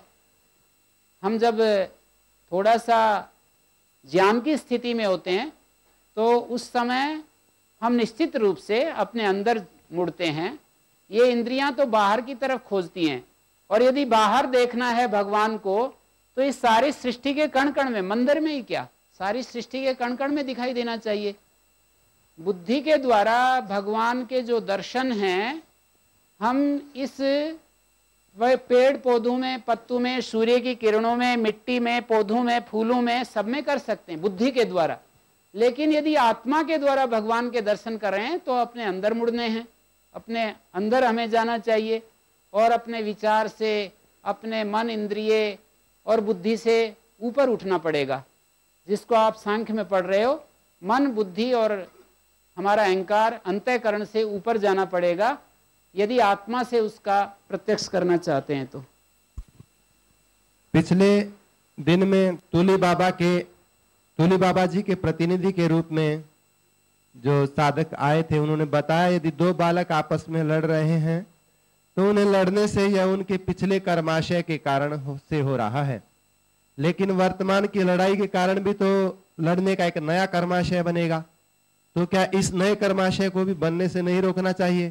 स्पष्टीकरण करके करने की कृपा करें। निश्चित रूप से हमें कोई भी हमें कोई भी कर्माशय नया कर्माशय ना बने इसके लिए भी सावधान है।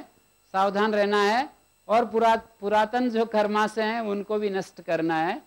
पुराने कर्मों को भी क्षीण करना है और नए ना बने ऐसा भी उपक्रम करना है। ये ये तो पक्का है। मंत्र शक्ति और मंत्र के पीछे क्या विज्ञान है?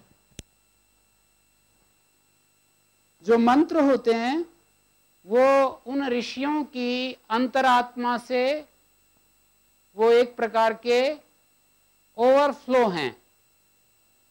ऋषि लोग अंदर गए और अंदर जाने के बाद अंदर से वो बाहर आए उसका नाम मंत्र है।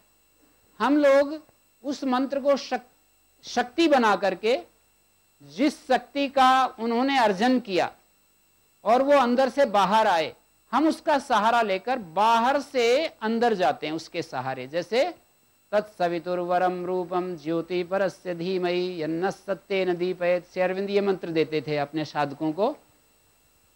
जैसे, उस सविता देव के वर्णीय रूप को हम अपने अंदर धारण करते हैं, जो हमें सत्य से प्रकाशित कर देवे। तो इस मंत्र के माध्यम से साधक उनके शेरविंद आश्रम के जो शिष्य थे, या अब अब भी हैं, वो इस मंत्र को पकड़ करके धीरे धीरे धीरे धीरे अपने अंदर घुसते हैं। तो ऐसे मंत्र जो है, एक शक्ति बन करके हमें सहारा देता है और हमें अपने अंदर, अपने अंत सत्ता में प्रवेश करने के लिए मौका देता है।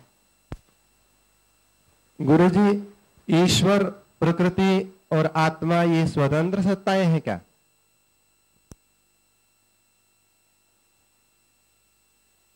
ये तो स्वभावतः हमको दिख ही रहा है ऐसा ही।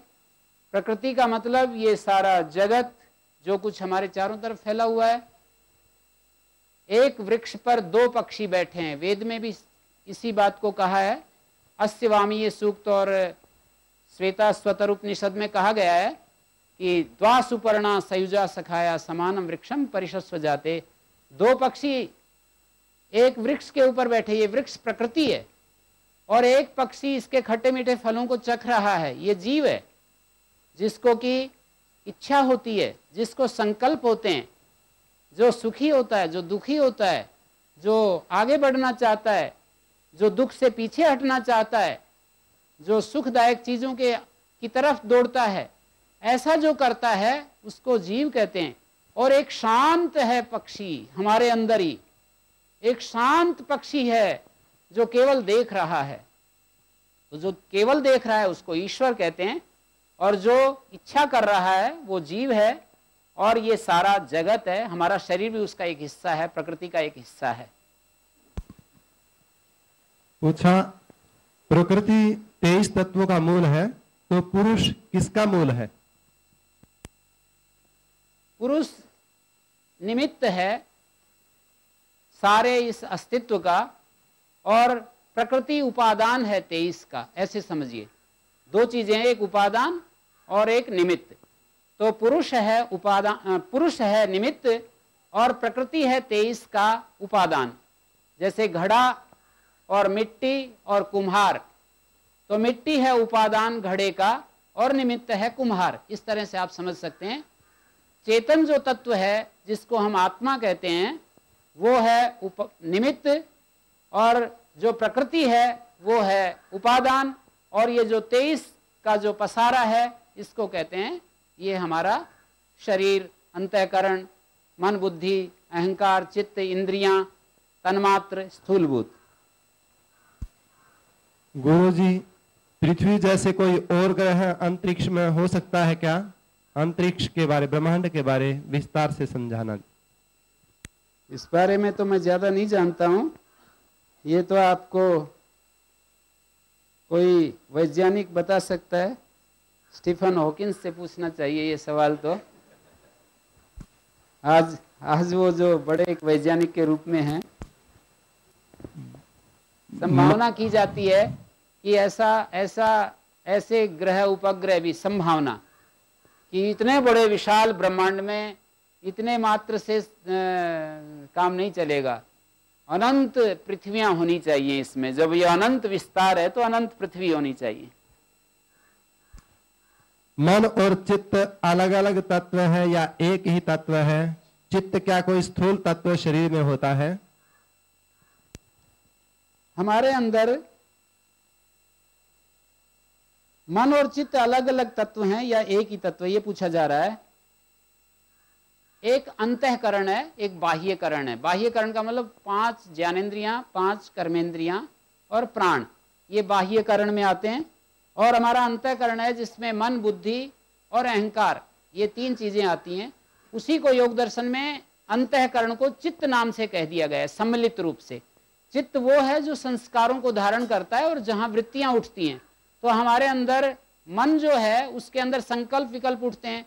और मन के तीन उसमें एक सत्व भाग है, उसमें एक क्रिया भाग है और उसमें तीसरा एक भाग है, जिसको स्थिति कहते हैं। तो जो प्रख्या या प्रकाश वाला जो हिस्सा है, प्रकाश वाला जो हिस्सा है, वो उसके जो ज्ञान आदि जो हम प्राप्त करते हैं, वो मन के द्वारा वो हिस्सा है। और दूसरा हिस्सा है जिससे हम चेष्टाएँ करते हैं, मन मन के द्वारा ही हम चेष्टाएँ कर पाते हैं और तीसरा एक हिस्सा है जिसमें संस्कार धारित होते हैं। तो ये अलग अलग तत्व नहीं है, एक के ही नाम है। कोई स्थूल तत्व शरीर में होता है, स्थूल तत्व नहीं होता है। ये हमारे अंदर जो है, चित्त कोई स्थूल तत्व नहीं होता है। स्थूल तत्व होने का मतलब देश को व्याप्त करके रहने वाला तत्व। तो चित्त कोई देश व्यापी तत्व तत्व नहीं है। काल से इसका संबंध संबंध है। इसकी जो क्रियाएँ हैं, उससे काल का अनुमान होता है। पंच तन्मात्र, पंच कर्मेंद्रिया, मन क्या होता है? तन्मात्र तो स्थूल भूतों के जो कारण है, वो तन्मात्र कहे जाते हैं। जैसे अग्निभूत का कारण है रूप तन्मात्र। उसकी एक यूनिट अग्निभूत, जिसमें हमको अलग अलग रूप दिखाई देते हैं, ये अग्निभूत का स्वरूप है। काला, पीला, नीला, हरा आदि हमारी आँखों के द्वारा जो ये अलग अलग रंग दिखाई दे रहे हैं कलर्स दिखाई दे रहे हैं, ये जो है अग्निभूत है। और इसका जो मूल तत्व है, उसको कहते हैं रूप तन्मात्र। इसी तरह से सबको समझ लेना चाहिए। जैसे रस तन्मात्र और जलभूत। जलभूत जिसके द्वारा हमारे को, हमारी जिह्वा के द्वारा खट्टा, मीठा आदि अलग अलग जो हमें टेस्ट आते हैं, ये है जलभूत। और उसका जो एक अंतिम तन्मात्र है, उसको कहते हैं रस तन्मात्र। क्या मन कोई शरीर में स्थूल तत्व होता है या कोई शक्ति मात्र है?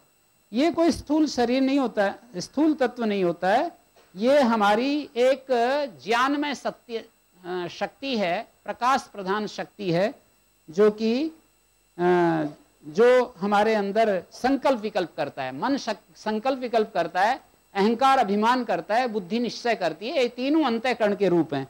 और कुल तत्व जो हैं, कुल तत्व 25 होते हैं तेईस जो है, महदादी, एक अव्यक्त है और पच्चीसवां पुरुष है, चेतन तत्व जो पुरुष कहते हैं।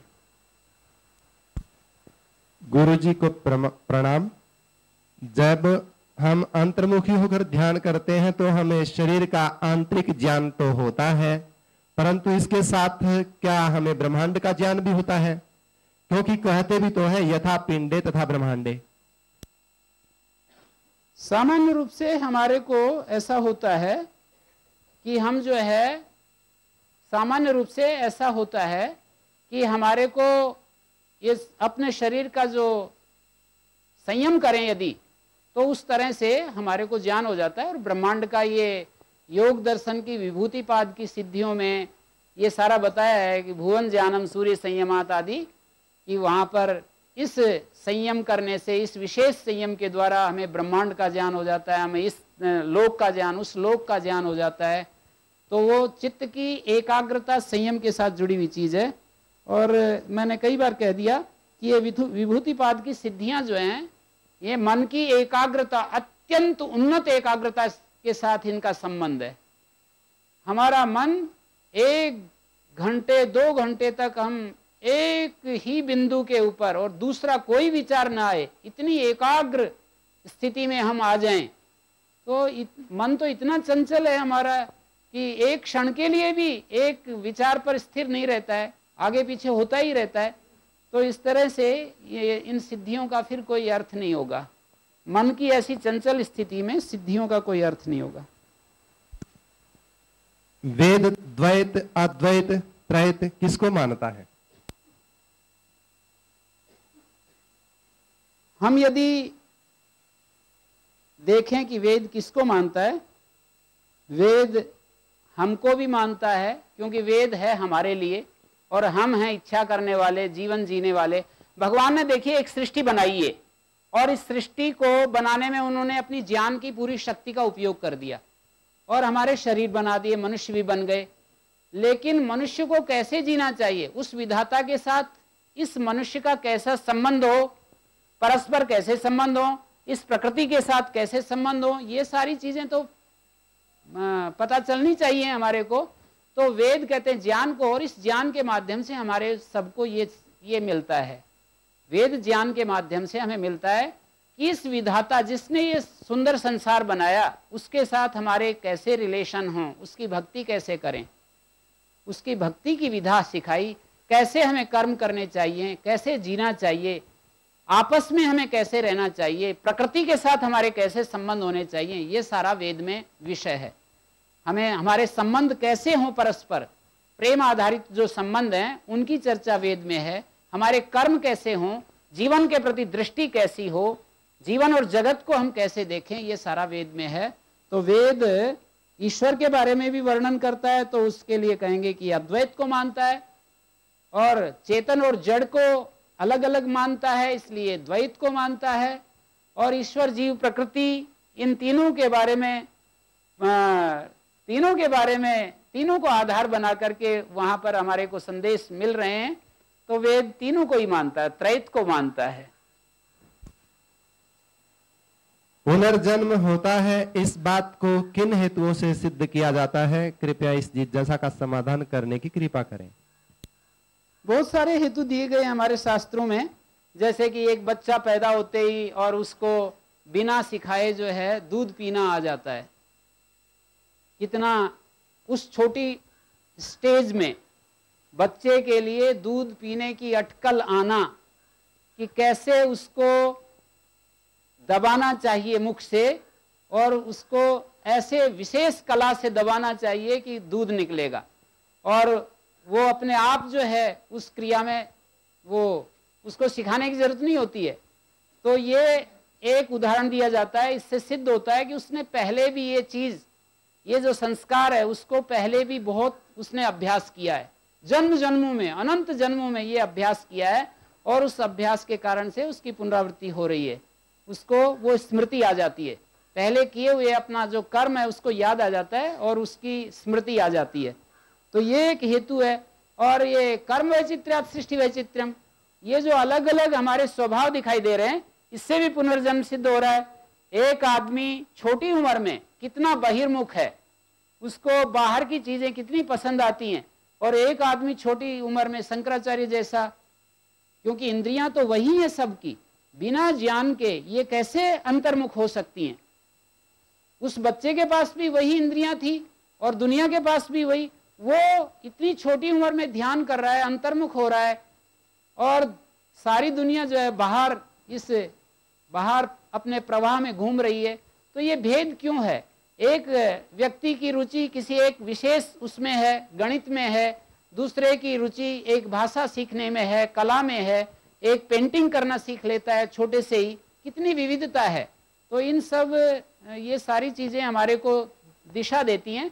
एक के ज्ञान की स्थिति कुछ कहीं कैसी है दूसरे के ज्ञान की स्थिति कैसी है ये सारी चीज़ें पुनर्जन्म को सिद्ध करती हैं।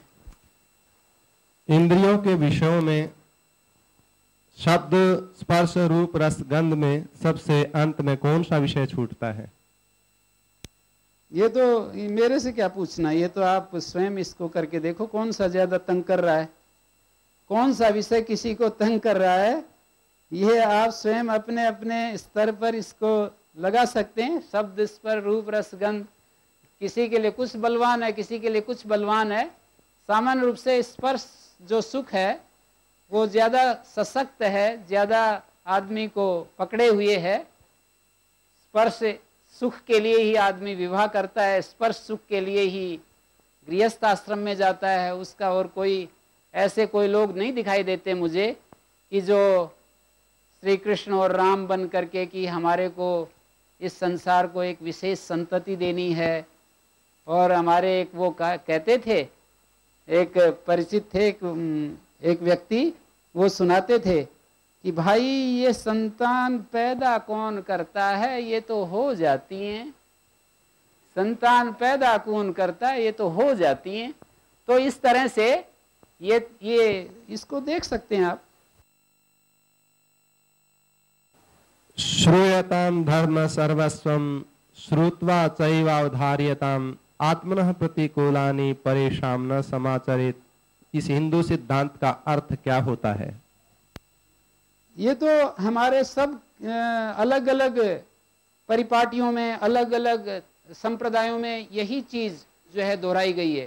क्राइस्ट ने भी एक बड़े गोल्डन रूल के रूप में इसी नियम को रखा है कि तुम दूसरों के साथ वो व्यवहार करो जो दूसरों से अपने लिए चाहते हो।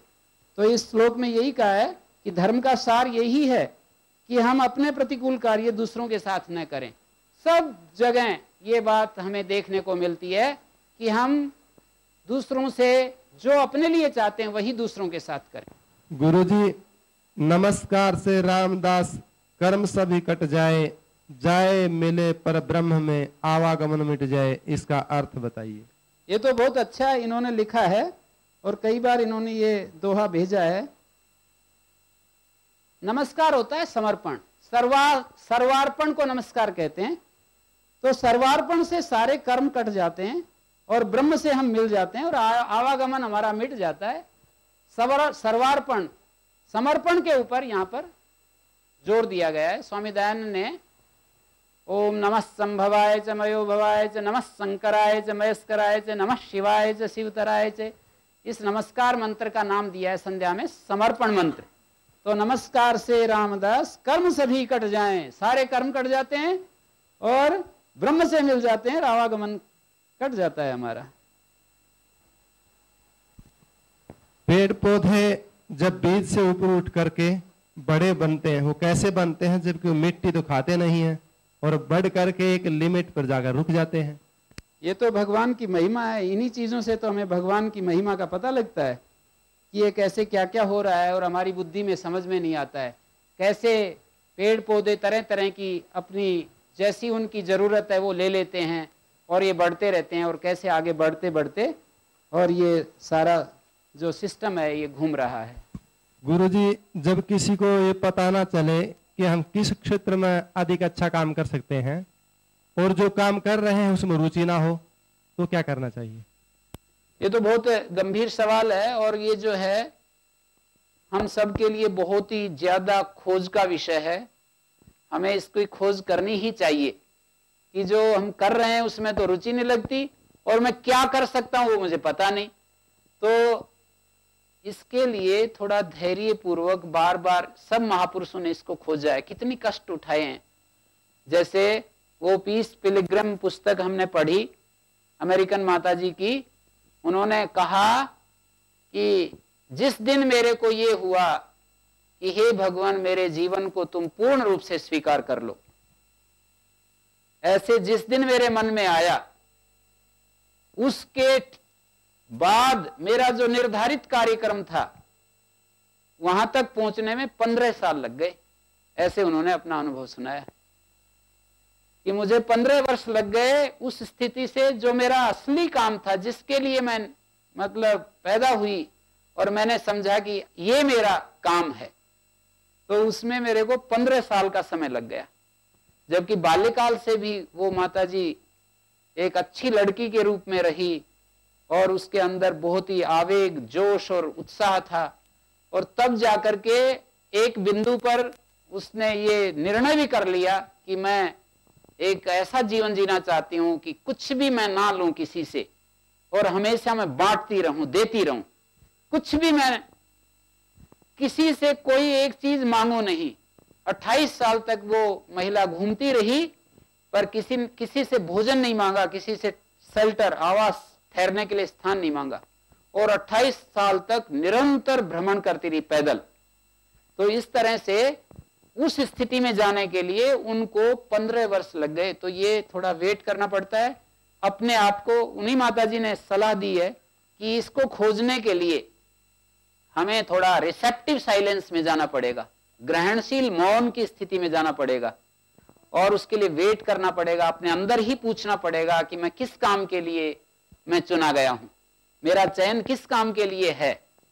हम ज़्यादातर ऐसे करते हैं कि उस शास्त्र में ये लिखा है, वो महापुरुष ऐसे कह रहा है, उसने ऐसे कहा है, ये काम अच्छा है, समाज का एक पूरा इसके लिए समर्थन है, इसकी ज़रूरत है। ऐसे ऐसे करके हम निर्धारण करते हैं और उसमें हमारी योग्यता और फिर टेम्पटेशंस बहुत होते हैं। हमारे साथियों का सम्मान ज़्यादा होता है, हमको ऐसा लगता है कि ये काम अच्छा नहीं है, वो काम बढ़िया देखो इसमें कितना यश कीर्ति मिलती है, देखो उसमें कितनी प्रतिष्ठा मिलती है। तो इस तरह से हम सोचते हुए जब हम प्रतिष्ठा के ऊपर चले जाते हैं, अपनी इच्छाओं की पूर्ति पर चले जाते हैं तो हमारा जो टारगेट है वो मिस हो जाता है। जिसके लिए हम आए थे वो मिस हो जाता है, गायब हो जाता है। तो उसके लिए थोड़ा हमें प्रतिष्ठा, सम्मान, सुख सुविधाएँ इनको एक तरफ़ करना पड़ेगा और अपने अंदर से पूछना पड़ेगा कि मैं क्या काम करने के लिए, और उसमें हमें रस भी आता है धीरे धीरे पहचानना पड़ेगा, इसमें बड़ा अच्छा लगता है। इसमें बड़ा अच्छा लगता है। मैं भी तो इस बात का शिकार हूँ, कितने दिन में आकर के अब मौका लगा है। इतना जीवन लंबा खींचते खींचते, रोते, धोते, अब जाकर के थोड़ा सा तरीका आया है कि ये ऐसा जी, ऐसा करके जी। पूरा आनंद में जीने के लिए ऐसा कर भाई। कितना रोना धोना पड़ा है, आपको क्या बताऊँ, मैं अपनी कहानी। तो इस तरह से ये जो है सहज काम नहीं है ये तो खोजना ही पड़ेगा। लेकिन गुरुजी जब आप रोते धोते थे तब भी हमें आनंद में लगते थे और आप कहते थे आनंद में हूँ। तो हमें तो अब पता लग रहा है कि आप रोते धोते थे। ये आदमी के साथ बहुत बार होता है। ये तो खूब होता है।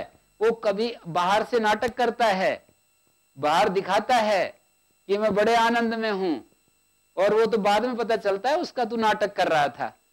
और कभी कभी होता भी है थोड़ा बहुत कभी सुखी महसूस होता है कभी कभी तो उस समय कह देता है बड़ा आनंद है। कुछ कुछ पीरियड, जैसे मान लीजिए दो महीना आनंद में है, उस समय कोई बात कर रहे हो, कोई किसी के साथ तो कह देता है कि बड़े आनंद में चल रहे हैं। तीन महीना आनंद में है और उसमें चल रहे हैं, लेकिन ऐसा है कि तीन महीना, छह महीना, दस महीना आनंद में और वो चीज़ें जिनके लिए आदमी चाहता है कि मेरे इतनी सहजता हो मेरे जीवन में। इतनी सहजता हो कि मुझे प्रयास ना करना पड़े। ये हमारा टारगेट है। हम ये चाहते हैं कि प्रयास ना करना पड़े और सब कुछ ठीक होता रहे। हम सब की मांग है या नहीं है, आप अपने अपने से पूछो कि हमें कोई कोशिश ना करनी पड़े और हम ऐसा जीवन जिए जिसमें सब कुछ सहजता हो। तो जैसे मैं आजकल जी रहा हूँ तो उसमें मुझे प्रयास प्रयास नहीं करना पड़ता। कहीं भी मुझे कोशिश नहीं करनी पड़ती, पर सब कुछ ठीक चलता है। तो ऐसा हम चाहते हैं कि सब कुछ ठीक चले, पर प्रयास ना करना पड़े। प्रयास पूर्वक ही आध्यात्मिक जो रास्ता है, ये तय नहीं होता है। इसमें बड़ी परेशानी है। जब प्रयास पूर्वक हम चलते हैं तो इसमें बहुत ही अंदर से परेशानी होती है, घुटन होती है, और हमारा जीवन जो है, अंदर से टूट जाता है। तो इसलिए जो है अपनी जो वास्तविक जो जीवन की जो शैली है, पद्धति है, ढंग है, जो हमारा जो जीवन है, उसकी वो जो खोज है, उसके लिए बड़ा हमें धैर्य धारण करना पड़ेगा और उसकी खोज करनी पड़ेगी। रिसेप्टिव होकर के करना पड़ेगा। बार बार जो है हमारे अंदर से वेग उठते हैं। सबके सामने शेरविंद कहते हैं, कितना महान योगी, तपस्वी, कितनी सामर्थ्यशाली व्यक्ति उनका जीवनी में पढ़ता रहा हूँ, वो कहते हैं कि मेरे अंदर कितनी बार वेग उठे कि मैं छोड़ छाड़ करके इस दुनिया को और राष्ट्र का काम कर रहे थे कि इसको छोड़ करके मैं योग साधना करूँ। तो वो तो परिस्थितियाँ ऐसी बन गई कि वो जो है जेल में चले गए और वहाँ पर वो एकांत में रहना पड़ा और उनका एक निकल आया। और इसलिए कहा है उन्होंने कि धन्यवाद है ब्रिटिश सरकार को कि मेरे बंधन जो मैं नहीं तोड़ पा रहा था, एक झटके में सारे बंधन तोड़ डाले। तो इस तरह से हमारे को ये सहज काम नहीं है। इसके लिए थोड़ा आप घबराएँ भी नहीं, विचलित भी ना हो, और उसके लिए आप अपने खोज को जारी रखें, यही कहूँगा। धन्यवाद।